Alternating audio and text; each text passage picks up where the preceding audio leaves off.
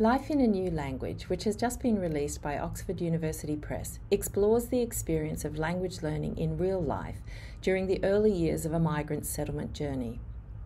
International migration is at an all time high as ever more people move across national borders for work or study in search of refuge or adventure. Regardless of their motivations and whether they intend their moves to be temporary or permanent, for most people, migration is transformative.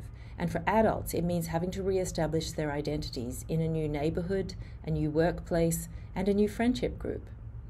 For people from non English speaking backgrounds, their social positioning is affected by using a language that may not roll off their tongue easily and that may signal them as different.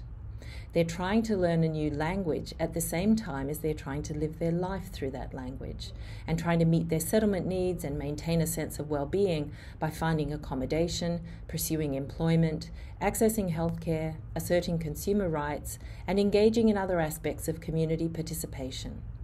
Life in a New Language charts the highs and lows of this complex journey. The book is an innovative collaboration between Australian researchers Ingrid Piller, Donna Butorac, Emily Farrell, Loy Lising, Shiva Motaghi Tabari, and Vera Williams Tetteh. It illuminates the experience of post migration language learning through a reanalysis of ethnographic data that was collected over a 20 year period with 130 migrants to Australia from 35 different countries in Africa, Asia, Europe, and Latin America.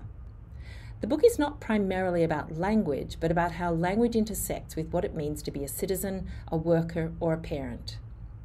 Within settlement English programs, the migrant learner is usually engaged with only as someone developing proficiency in English in a classroom setting.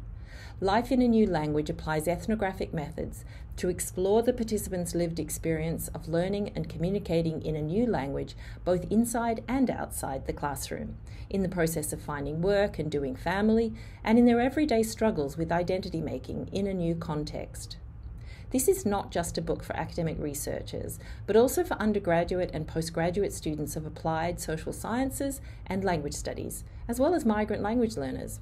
And it will be of special interest to TESOL teaching practitioners and teacher educators for the insights it provides into their students' personal experiences of language learning and language use outside the classroom as they go about their everyday life in a new language.